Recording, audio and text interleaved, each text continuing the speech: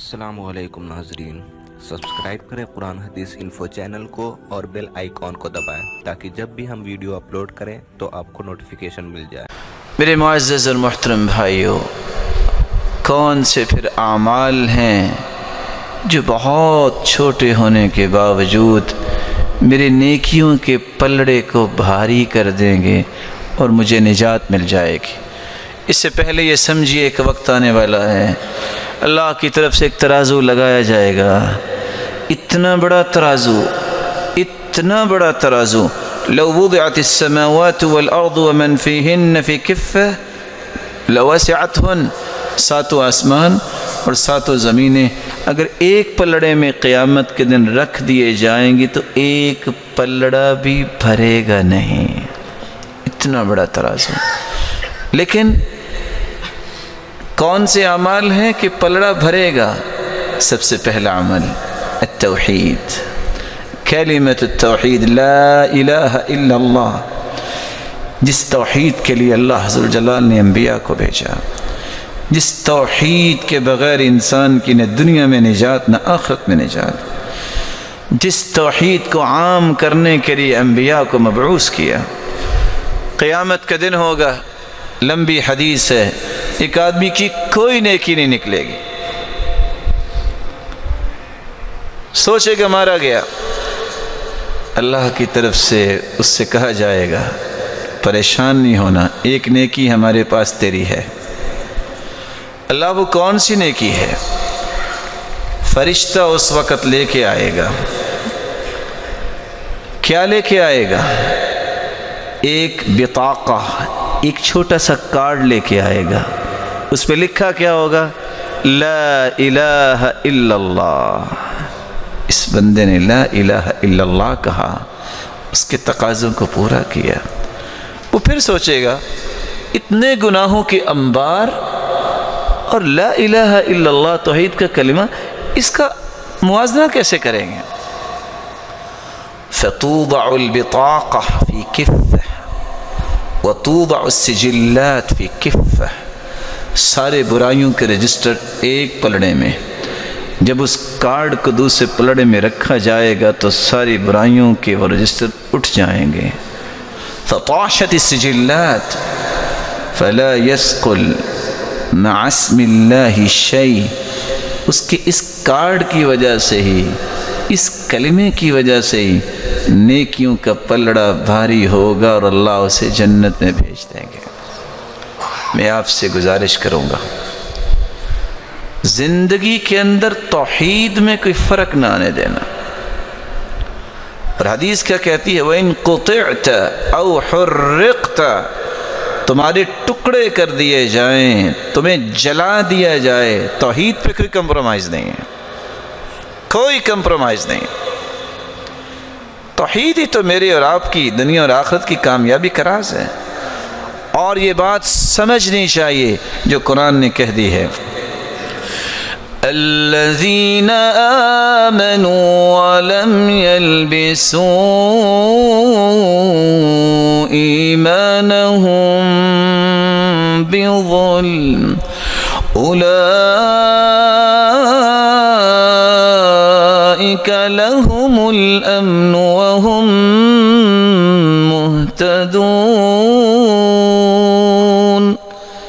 ایمان لانے کے بعد شرک کی امیزش نہیں کرتے، اپنی توحید کو خالص کرتے ہیں۔ اللہ نے دو انعام رکھے ہیں۔ فکری امن، قولی امن، معاشرتی امن۔ امن کی نعمت اللہ دیتا ہی اس کو ہے جس کی توحید خالص ہوتی ہے۔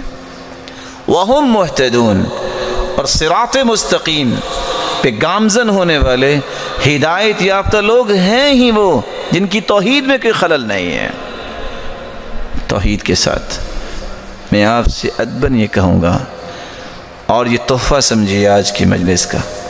کثرت سے لا الہ الا اللہ پڑھا کریں۔ حدیث کہتی ہے، افضل الذکر، لا الہ الا اللہ۔ سب سے افضل ذکر لا الہ الا اللہ ہے۔ اور رسول اللہ صلی اللہ علیہ وسلم نے فرمایا ان قول لا الہ الا اللہ تدفع عن قائلها تسعة وتسعين من البلاء ادناها الہم جو کثرت سے لا الہ الا اللہ کہتا ہے، نائنٹی نائن بلائیں اللہ حضر الجلال اس کی دور فرما دیتے ہیں۔ ادناها الہم اور سب سے گھٹیا بلا غم ہے۔ اس کا مطلب یہ نکلا کہ نائنٹی ایٹ بلائیں تو غم سے بھی بڑی بڑی اللہ حضر الجلال دور فرما دیتے ہیں۔ دوسرا عمل جو بہت چھوٹا ہے، لیکن میرے نام اعمال میں نیکیوں کے پلڑے کو بھاری کر دے گا۔ حدیث کو پھر دوبارہ یاد کیجیے، ساتوں آسمان اور ساتوں زمینیں پلڑے میں رکھی جائیں تو پلڑا بھرے گا نہیں۔ میں ایک کلمہ بولنے لگا ہوں، ذرا دہرائیے گا۔ الحمدللہ۔ کتنا وقت بنا ہے؟ کتنے سیکنڈ لگے؟ دو سیکنڈ۔ صحیح مسلم کی روایت ہے، جو رب کے فیصلوں پہ راضی ہو کے، جس حال میں اللہ نے رکھا ہے، خوش ہو کے کہہ دیتا ہے، الحمدللہ۔ اللہ تیری ہی تعریف ہے۔ میں تو اس لائق بھی نہیں تھا جو تو نے عطا کر رکھا ہے۔ الحمدللہ تملأ المیزان۔ جو الحمدللہ کہتا ہے، قیامت کے دن ترازو کے دونوں پلڑے اللہ جلال نیکیوں سے بھر دیں گے۔ الحمدللہ۔ وافضل الدعاء الحمدللہ۔ رسول اللہ صلی اللہ علیہ وسلم نے فرمایا، سب سے افضل دعا بھی الحمدللہ ہے۔ تو جہاں لا الہ الا اللہ کثرت سے پڑھا کرو، توحید کو خالص کرو، وہاں الحمدللہ کا ورد نہ بھولیے۔ تیسرا عمل بہت چھوٹا ہے، لیکن اس سے میرے نام اعمال میں نیکیوں کا پلڑا بھاری ہو جائے گا۔ کلمتانی حبیبتان الى الرحمن، خفيفتان على اللسان، ثقيلتان في الميزان. سبحان الله وبحمده، سبحان الله العظيم. دو کلمات۔ اللہ کو بہت پیارے ہیں، زبان پہ بہت ہلکے ہیں، اور قیامت کے دن نام اعمال میں بہت وزنی ہوں گے۔ کون سے کلمات ہیں؟ سبحان اللہ و بحمدی سبحان اللہ العظیم، کثرت سے پڑھا کریں۔ اللہ کے رسول نے فرما دی اور صحیح بخاری کی روایت ہے۔ اللہ کا ذکر یہ انسان کے نام اعمال کو نیکیوں سے بھر دے گا اور دنیا میں بھی سکون ملے گا۔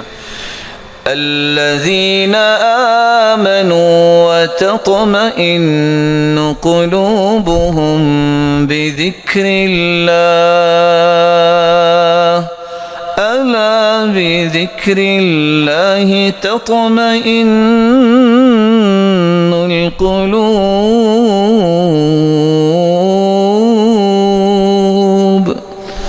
اللہ نے انسان کے دل میں سکون رکھا ہے تو وہ اللہ کے ذکر سے ممکن ہے۔ سبحان اللہ و بحمدی سبحان اللہ العظیم، اگر لمبا ہے، آپ اس کو چھوٹا کر سکتے ہو۔ دوسری روایت کے الفاظ یہ بھی ہیں۔ من قال سبحان اللہ و بحمدی مئت مرہ حطت عنہ خطایا وإن كانت مثل زبد البحر۔ جو شخص سو مرتبہ یہ کہہ دے سبحان اللہ و بحمدی بس سو مرتبہ کہہ دے، اللہ حضر جلال سمندر کی جھاگ جتنے بھی گناہ ہوں تو اللہ انہیں معاف کر دیتے ہیں۔ چوتھا عمل، رسول اللہ صلی اللہ علیہ وسلم نے فرمایا، اثقل شیء فی المیزان الخلق الحسن، حسن اخلاق قیامت کے دن سب سے بھاری عمل ہوگا جو انسان کے نام اعمال میں سب سے وزنی ہوگا۔ حسن اخلاق سے مراد نرم گفتگو، اچھی گفتگو، عدل و انصاف کی گفتگو۔ بلکہ تین لفظوں پہ غور کیجیے۔ طلب الحلال، اجتناب المحارم، والتوسعة على العیال اخلاق یہ ہے حلال کی تلاش کرو، حرام سے بچ جاؤ اور گھر والوں پہ وسعت کرو۔ اللہ کے رسول صلی اللہ علیہ وسلم نے اس لیے فرمایا، ان من احبکم الیہ واقربکم منی مجلسا یوم القیامہ، احاسنکم اخلاقا، سب سے پیارا وہ ہوگا، سب سے قریب میرے وہ ہوگا قیامت کے دن جس کا اخلاق اچھا ہے۔ جو شخص حرام کھاتا ہے، جو شخص حلال کی طلب نہیں کرتا، اس کا اخلاق کیا ہے؟ یہ میں بات کیوں کہہ رہا ہوں؟ آج کسی کا چکر یورپ میں لگ جائے، جو ہی اپنے ملک میں لینڈنگ ہوتی ہے، تو طائفوں کے پل باندھتا ہے۔ امریکہ اور کینیڈا میں بہت اخلاق ہے کون سا اخلاق؟ سود کھانے والے کا اخلاق ہے؟ حرام کو اپنی زندگی کا مشن بنانے والا اس کا اخلاق ہے؟ ان کی ضرورت ہے کہ کس طرح لوگوں کو اپنے ساتھ ملاتے ہیں۔ مسلمان کا مشن اتنا سستا نہیں ہوتا کہ چند باتوں کو دیکھ کے وہ اپنا مشن بدل لے۔ اور یہ بات بھی حقیقت ہے، یہ مسلمانوں کا مزاج ہونا چاہیے اخلاق۔ جو اگر کافر بھی لے لے گا تو دنیا میں اس کو بدلہ تو ملتا ہے اس کو بھی۔ ہاں آخرت میں کچھ نہیں ملے گا کیونکہ اس نے اللہ اور اس کے رسول پر ایمان کی وہ حقیقت کو سمجھا نہیں اور محمد مصطفیٰ پہ ایمان لایا نہیں ہے۔ تو چوتھا عمل جس سے بہت چھوٹا عمل جس سے میرے نام اعمال میں نیکیوں کا وزن بھاری ہوگا اور مجھے جنت ملے گی۔ پانچواں عمل، رسول اللہ صلی اللہ علیہ وسلم نے فرمایا، بخن بخن، لخمس، ما اسقلهن في الميزان لا اله الا الله وسبحان الله والحمد لله والله اکبر۔ بہت بڑی کامیابی۔ بہت بڑی کامیابی اس کے لیے جس کے اندر پانچ چیزیں آ گئیں۔ اور اتنے بھاری عمل ہیں یہ اللہ کے ہاں قیامت کے دن میزان میں کہ اس کے بارے میں کچھ بتایا ہی نہیں اللہ کے رسول نے۔ وہ پانچ چیزیں کون سی ہیں؟ لا الہ الا اللہ، سبحان اللہ، والحمد للہ، واللہ اکبر۔ چار چیزیں۔ اور پانچویں، والولد الصالح يتوفى للمرء المسلم فيحتسب، جس کا نیک بیٹا فوت ہو جائے اور اجر کی امید پر وہ صبر کرتا ہے، اتنا بڑا یہ عمل ہے کہ قیامت کے دن اس کے نیکیوں کا پلڑا بھاری ہوگا اور یہ جنت میں چلا جائے گا۔ چھٹا عمل، جس کو آج ہم وقت نہیں دیتے کاش مجھے اور آپ کو یہ بات سمجھ آ جائے۔ مسلمانوں کو اگر میں خوشی نہیں دے سکتا تو غم تو نہ دوں۔ میں اگر مسلمانوں کی خیر خواہی اور ہمدردی تو نہیں کر سکتا تو ان کو تکلیف تو نہ دوں۔ یہی نصیحت سلف کی ہوتی تھی۔ لیکن اللہ کے رسول کا فرمان ہے میں نے استغفر للمؤمنین والمؤمنات كان له بكل مؤمن ومؤمنة حسنة جو شخص صرف اتنا کہہ دیتا ہے، اللہم اغفر للمؤمنین والمؤمنات اللہ مومن مردوں کو معاف کر دے، مومنہ عورتوں کو معاف کر دے۔ سیکنڈ لگتے ہیں پانچ سے چھ۔ کہہ کے دیکھیے، اللہم اغفر للمؤمنین والمؤمنات مسلمانوں کے لیے دعا کرنا۔ ملے گا کیا؟ كان له بكل مؤمن ومؤمنة حسنة. آدم سے لے کر قیامت تک آنے والے جتنے بھی مومن مرد اور مومنہ عورتیں ہوں گی، اتنی تعداد میں اس کے نام اعمال میں نیکیاں لکھ دی جاتی ہیں۔ دعا کیا کریں۔ اپنے لیے بھی، مومن بھائیوں کے لیے بھی، مومنہ عورتوں کے لیے بھی۔ تاکہ اس دعا کے نتیجے میں ان کی بھی خیر خواہی ہو اور فرشتے آپ کے لیے دعا کریں گے۔ دعوت المرء المسلم بظهر الغيب مستجابة عند رأسه ملك موكل به يقول آمین ولك بمثل۔ رسول اللہ صلی اللہ علیہ وسلم نے فرمایا، جب بندہ کسی کے لیے دعا کرتا ہے، وہ سامنے نہیں ہے۔ اللہ اس کی دعا کو قبول بھی فرماتے ہیں اور ایک فرشتے کو مقرر کرتے ہیں جو آمین کہتا ہے اور ساتھ یہ بھی کہتا ہے، اے اللہ، آمین میں نے کہہ دی ہے کہ دعا اس کی قبول فرما اور یہ دعا اس کے حق میں بھی قبول فرما، جو دعا کرنے والا ہے۔ اگلا عمل جو بہت چھوٹا ہے، ساتواں عمل، جس کو آج مسلمانوں نے رواج بنا لیا۔ حالانکہ یہ بہت بڑی نیکی ہے۔ کوئی فوت ہو جائے؟ کیوں جنازے میں جانا ہے؟ نہ گیا تو ناراض ہو جائے گا۔ کوئی نیکی نہیں۔ میں اگر وہاں اپیئر نہ ہوا تو لوگ کہیں گے کیا؟ اوے وہ نہیں آیا۔ نہیں میرے بھائی، نیت کو خالص کرو۔ اس نیت سے جنازہ پڑھنے جاؤ۔ اللہ کے رسول کے فرمان کو سوچو۔ حدیث کے الفاظ ہیں۔ جو شخص من شہید الجناز فلہ قیراط جو جنازہ پڑھتا ہے احد پہاڑ جتنی نیکیاں اس کے نام اعمال میں قیامت کو آ جائیں گی۔ کوئی بتا سکتا ہے کہ احد پہاڑ کا وزن کتنا ہے؟ اور جو دفنا کیا آتا ہے، اللہ حضر جلال اسے دو احد پہاڑ جتنی نیکیاں عطا کرتے ہیں، اس لیے جنازہ پڑھنے کے لیے نیت کر کے جایا کرو کہ اللہ میں صرف تیری رضا کے لیے جا رہا ہوں۔ مجھے اجر چاہیے۔ مجھے ثواب چاہیے اللہ تیری رضا چاہیے لوگوں کی رضا نہیں چاہیے۔ آٹھواں عمل جو آپ بہت چھوٹا عمل ہے لیکن آپ کے نام اعمال میں بہت بھاری نیکی بنے گی۔ من تصدق بعدل تمرہ۔ جو شخص کھجور کے برابر صدقہ کرتا ہے کوئی بھائی بتائے گا کہ ایک کھجور کتنے کی آتی ہے؟ کیوں جی؟ ایک کھجور اگر خریدنی ہو تو کتنے کی آئے گی؟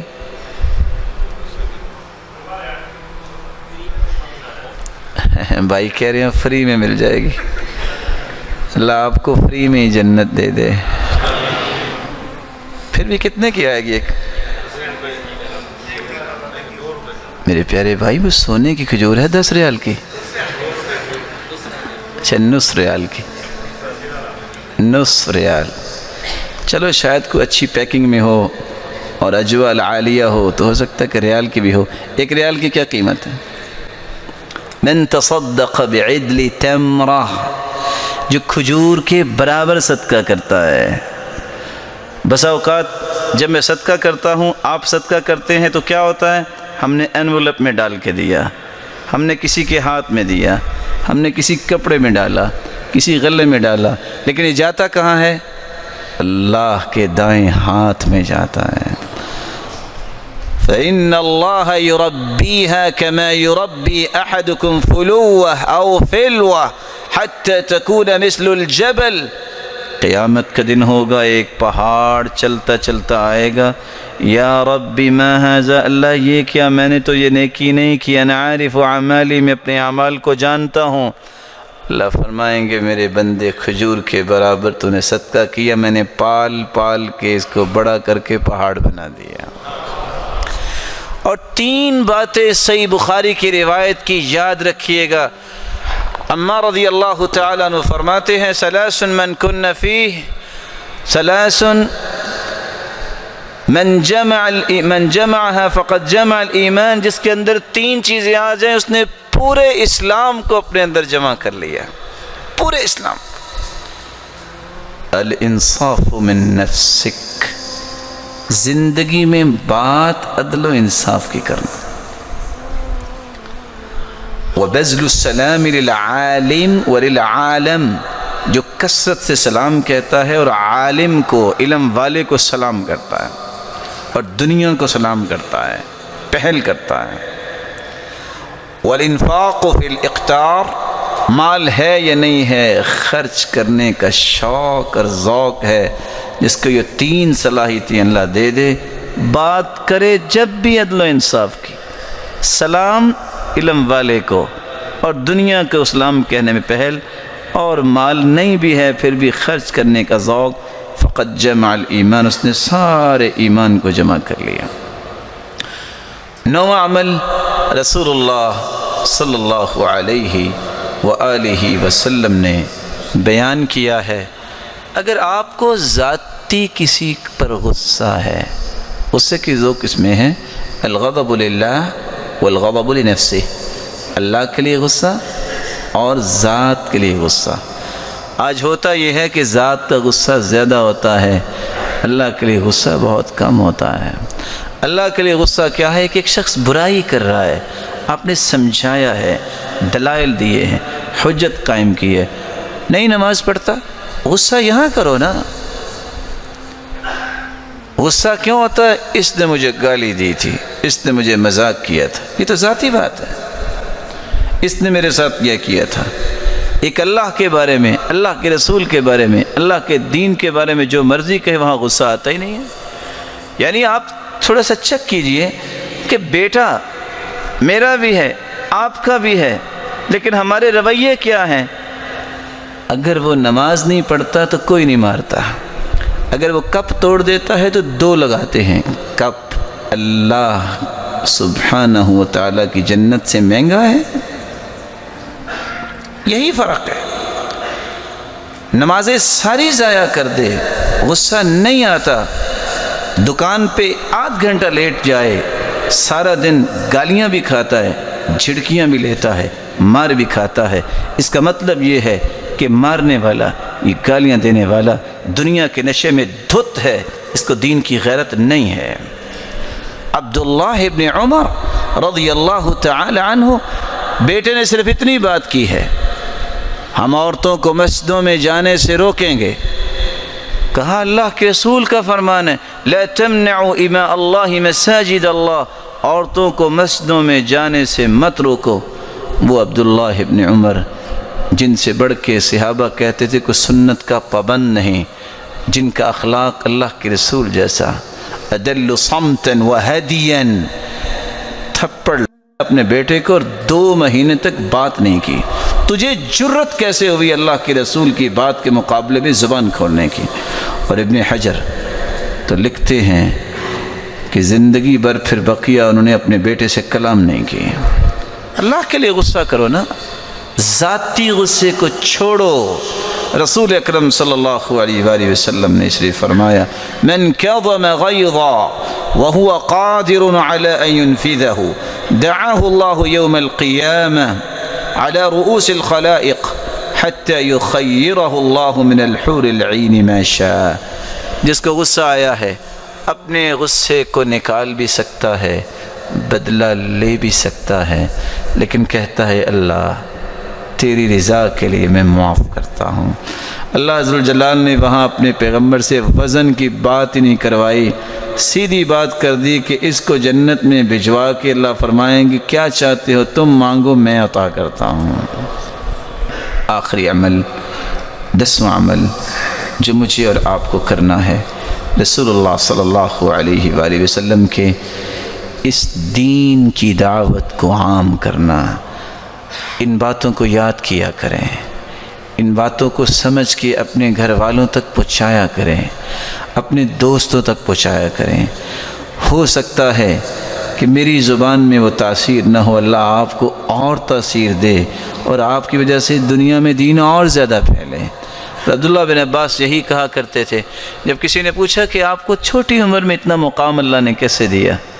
تو مسکرا کے کہتے ہیں، پہلی بات، اللہ کی رحمت۔ دوسری بات، اللہ کے رسول کی دعا، اللہم علم التأویل فقہ فی الدین۔ تیسری بات، جب میں پڑھانے بیٹھتا ہوں، میں دعا کرتا ہوں، یا اللہ، مجھ سے پڑھنے والوں کو مجھ سے بھی بڑا عالم بنا۔ میں بھی آپ سے گزارش کروں گا۔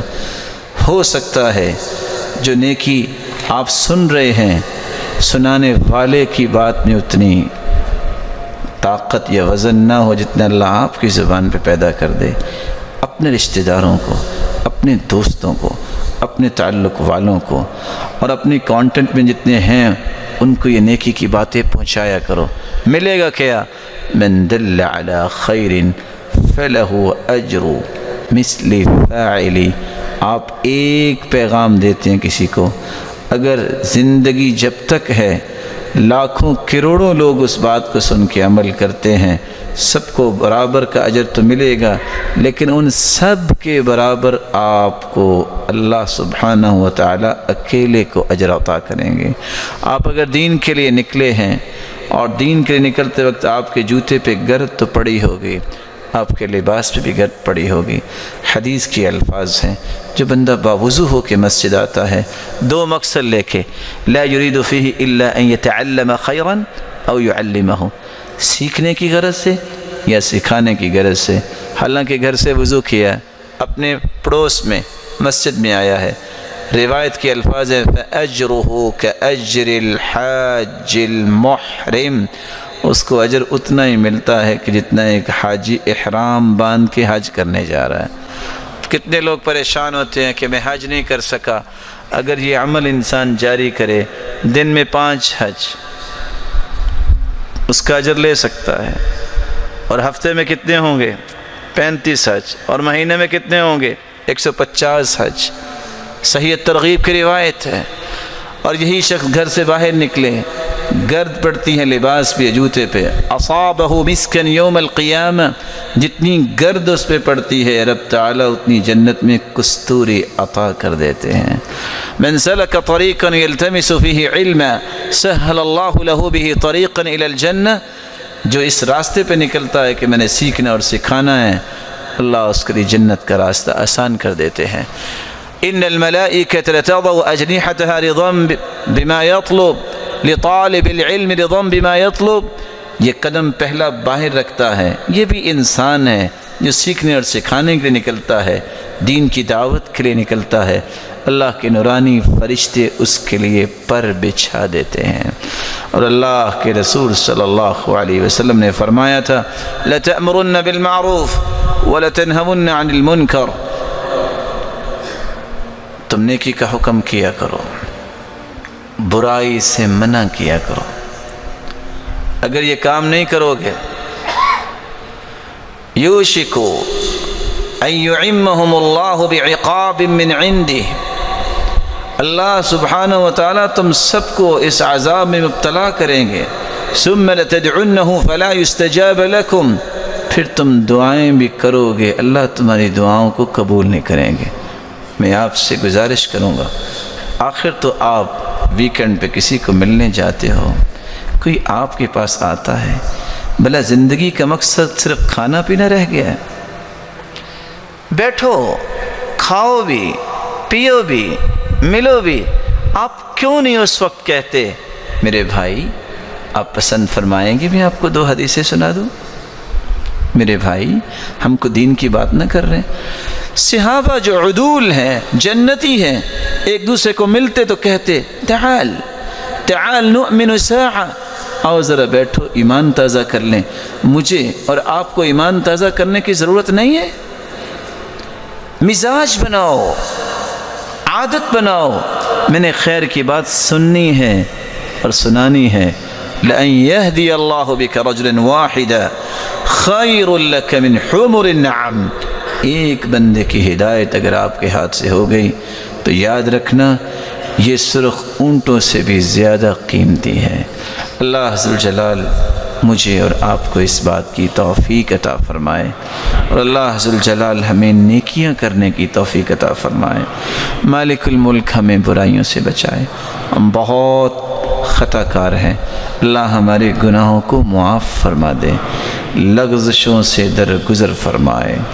اور اللہ حضر جلال جتنے یہ روشن چہرے سن رہے ہیں مولا کریم ان پہ جہنم کی آگ حرام کر دے۔ مولا کریم، جو صاحب اولاد ان کی اولادوں کو نیک بنا، دست و بازو بنا، آنکھوں کی ٹھنڈک بنا، صدقہ جاریہ بنا۔ اور جو بے اولاد ہیں، ان کی جھولیوں کو بارونک بنا۔